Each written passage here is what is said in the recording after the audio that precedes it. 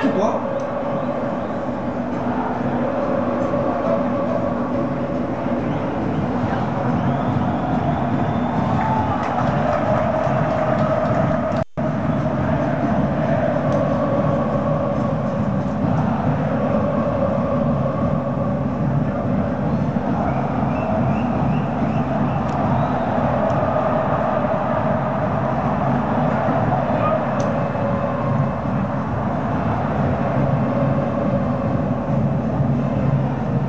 Cresceu o Cortez, né, cara?